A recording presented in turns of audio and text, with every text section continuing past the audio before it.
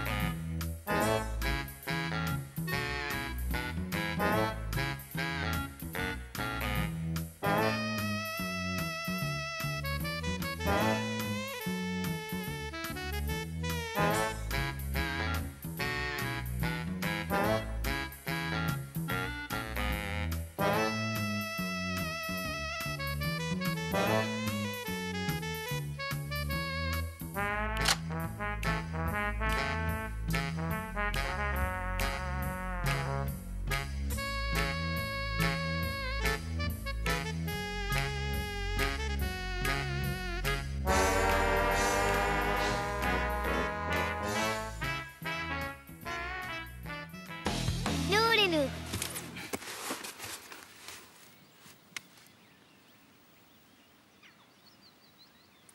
Ja, der er ikke sket noget endnu.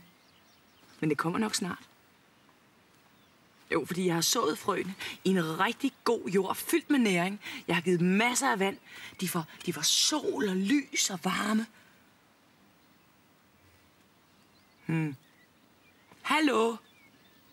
Hvis ikke snart det kommer frem, så vokser min utålmodighed. Og den vokser hurtigt, modsat visse andre. Nu skal det nok komme. Man skal bare være lidt bestemt. Jeg tør ved på, museunger, at I snart får jeres egen lille muselund at løbe rundt i. Men det er jo ikke alting, der vokser lige hurtigt. Man skal have kolossal tålmodighed. Hvad? Er det ikke slut nu? Hallo?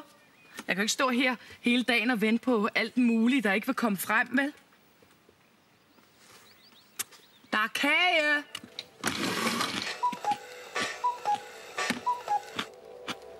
Og nu er det absolut slut. 30 sekunder på nu. 30, 29, 28, 27, 26, 25, 24, 23, talk to me